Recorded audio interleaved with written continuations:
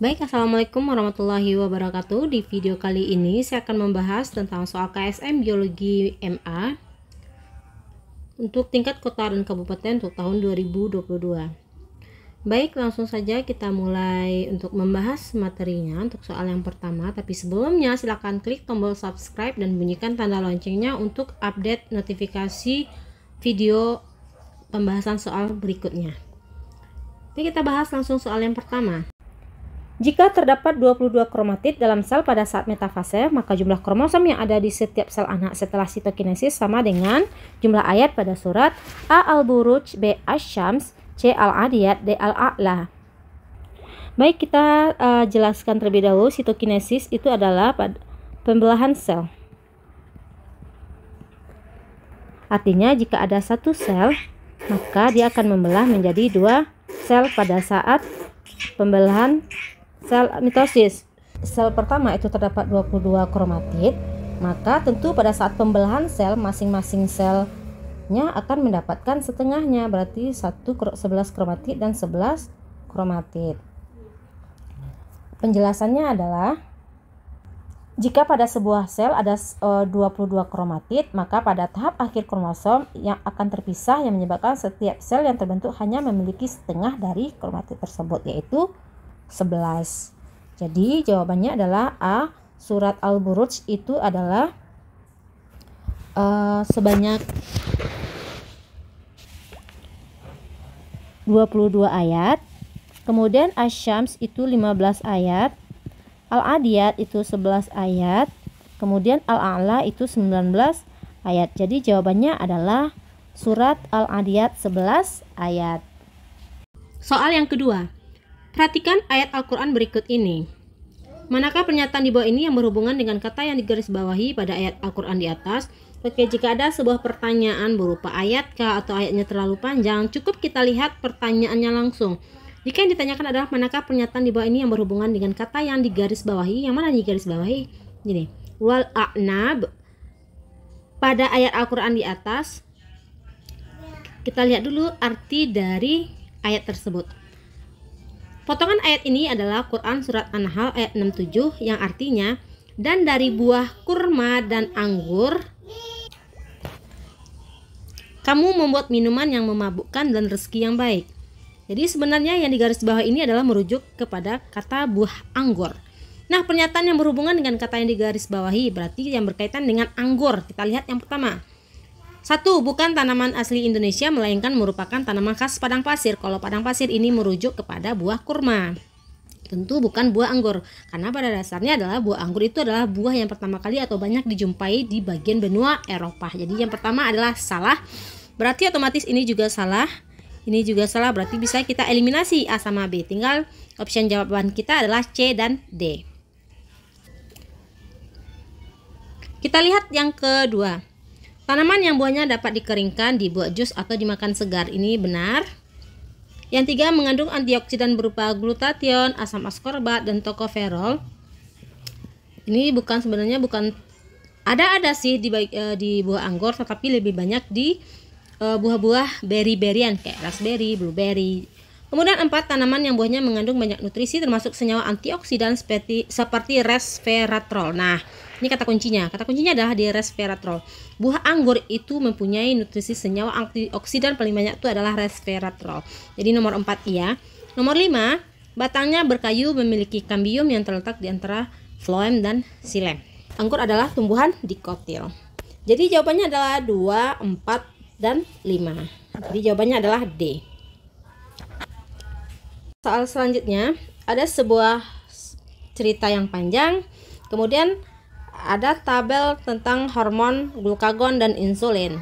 Tips kamu untuk mempermudah menjawab soal dengan menghemat waktu, cukup kamu lihat bagian soalnya saja. Bagaimanakah agar kadar gula kembali normal setelah digunakan untuk berolahraga? Kita lihat ada hormonnya glukagon, ada insulin. Kalau glukagon itu sebenarnya secara sederhana fungsinya adalah meningkatkan gula darah. Meningkatkan gula darah. Berarti insulin lawannya dong. Dia akan menurunkan gula darah dengan cara mengubah glukosa menjadi glikogen. Berarti glukagon meningkatkan gula darah dengan mengubah glikogen menjadi glukosa. Nah, ketika kita habis olahraga, otomatis kita akan kekurangan gula darah.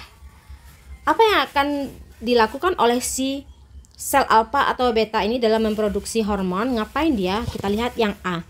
Sel alfa akan menghasilkan glukagon dan glukosa akan dilepaskan dari sel-sel hati. Ini benar. Yang B, sel alfa akan menghasilkan glukagon dan glukosa akan diserap. Ini salah. Mungkin glukosa diserap. Namanya juga kita habis olahraga kita butuh peningkatan gula darah. C. Sel beta akan memproduksi insulin dan glukosa akan dilepaskan dari sel-sel hati. Ini otomatis akan berlawanan dengan kerja insulin. Padahal karena insulin adalah menurunkan gula darah. D. Sel beta akan memproduksi insulin dan glukosa akan diserap dari darah. Kalau glukosa diserap dari darah, otomatis kita akan semakin e, kekurangan gula darah. Dia harusnya meningkatkan gula darah. Jadi jawaban yang tepat adalah A. Keempat, perhatikan ayat Al-Quran berikut ini.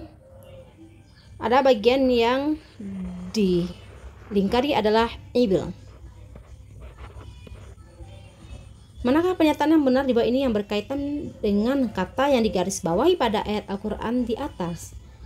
Kita harus ketahui dulu ayat tersebut potongan ayat surat apa dan kata ini merujuk ke kata apa. Ternyata ini adalah potongan surat Al-Ghasyiyah ayat 17 yang artinya maka tidakkah mereka memperhatikan unta? Berarti yang ditanya adalah pernyataan yang berkaitan dengan si unta ini. Kita lihat pernyataan yang pertama. Hewan tersebut memiliki kemampuan untuk beradaptasi di lingkungan gurun yang kering dengan menyimpan persediaan air di tubuhnya. Oke, untuk sementara kita betulkan. Nomor 2, hewan tersebut ditemukan di daerah gurun pasir Afrika, Eropa, dan Amerika kecuali Asia. Salah. Dia ditemukan banyak di gurun Asia dan di Afrika. Yang ketiga, hewan tersebut mengeluarkan keringat dan urin dalam jumlah yang sedikit. Ini salah dia mengguna, menghabiskan bahkan sampai 25% dari masa tubuhnya itu karena dia berkeringat.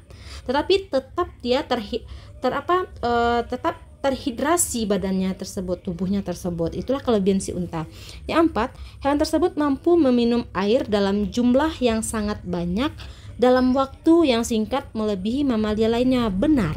Jadi jawabannya yang tepat adalah satu empat. Tidak ada ya jawaban yang satu dan empat.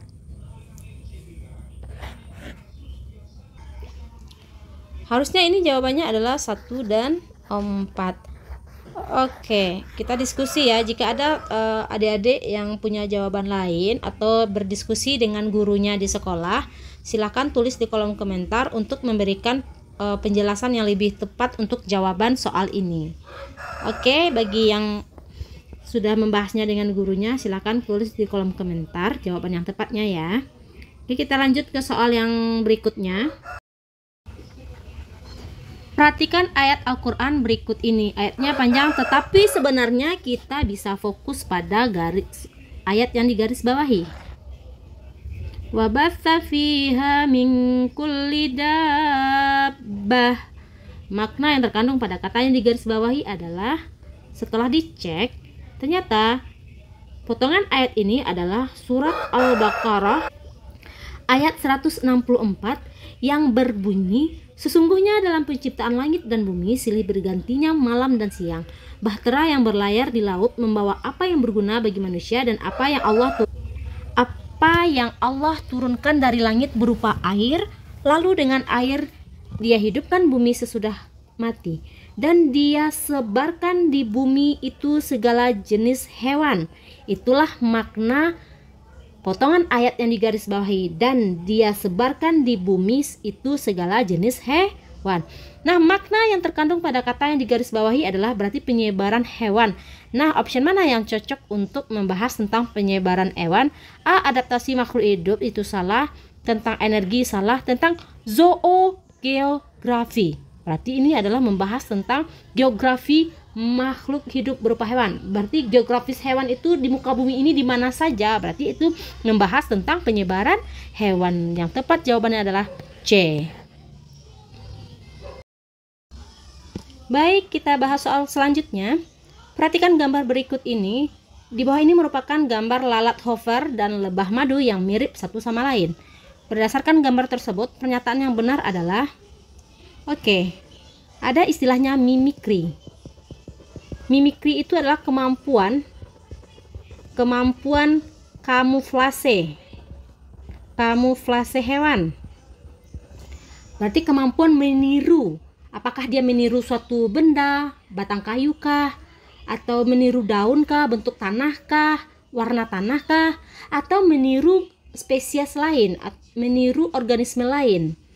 Nah itu dia mimikri. Nah pernyataan yang benar terkait gambar yang di atas ini adalah kenapa bisa antara lalat dan lebah jadi mirip. Ah gambar di atas merupakan contoh Betzian mimikri karena kedua hewan yang saling menyerupai tersebut dua-duanya tidak berbahaya. Oke, kita bahaskan dulu adanya mimikri. Ada istilahnya bet betesian artinya meniru atau menyerupai hewan lain. Tetapi yang satu berbahaya yang yang satunya lagi tidak berbahaya. Tidak berbahaya. Kalau dia uh, di atas ya saya tulis ya. Kalau mimikri Mullerian dia juga meniru tetapi dua keduanya sama-sama hewan ber bahaya. Nah, mana nih yang tepat? Lalat Hoover. Dia akan meniru lebah madu. Nah, yang A kita lihat. Gambar di atas merupakan contoh Betzian mimikri karena kedua hewan yang saling menyerupai tersebut dua-duanya tidak berbahaya. Salah. Kalau Betesian, tapi saya bilang tadi satu berbahaya, satunya lagi tidak berbahaya. Yang B, gambar di atas merupakan contoh Mullerian mimikri karena kedua hewan yang saling menyerupai tersebut kedua-duanya berbahaya. Kedua-duanya berbahaya. Kita lihat. Lalat Hoover itu tidak berbahaya tapi lebah madu dia punya racun yang bisa membahayakan atau membuat alergi mangsanya atau membuat mangsanya menjadi uh, apa? mati akibat racun yang dihasilkan atau dikeluarkan oleh si lebah. Berarti tidak cocok itu disebut dengan mimikri Mullerian. Berarti ini juga salah. Yang C, Gambar di atas merupakan contoh Betesian mimikri karena satu hewan berbahaya sementara hewan yang lain tidak berbahaya. Jadi dia lebih ke mimikri Betesian. Jadi jawabannya C.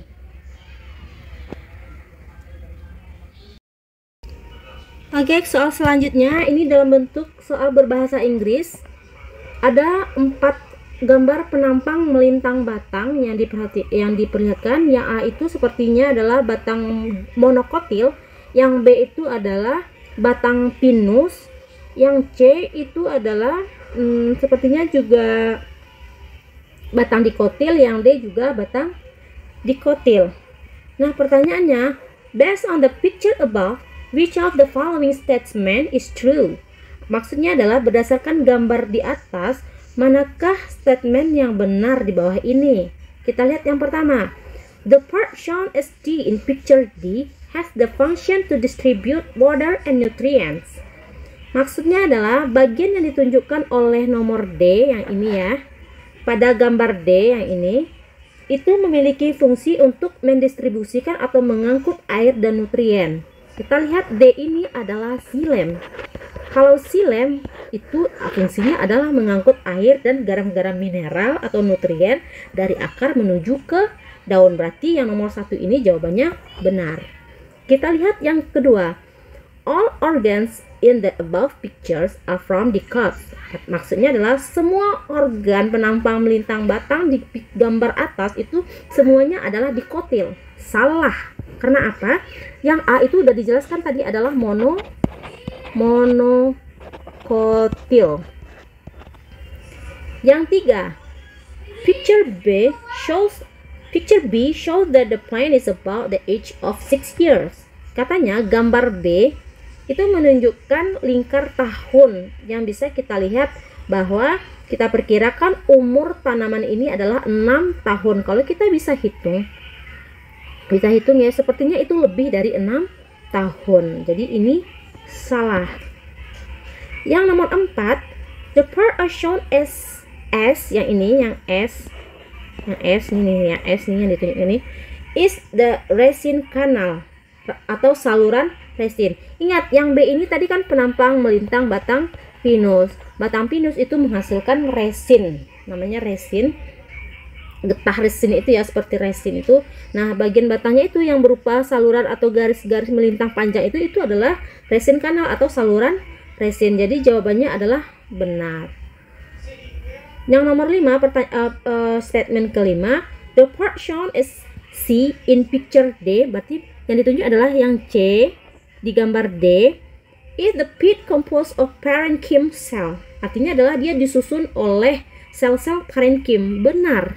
Sel parenchyma atau sel pengisi bagian korteks itu semua selnya itu adalah dari sel parenchyma. Jadi ini benar. Jadi yang benar itu jawabannya adalah pernyataan satu 4 dan 5. Jadi jawabannya adalah C.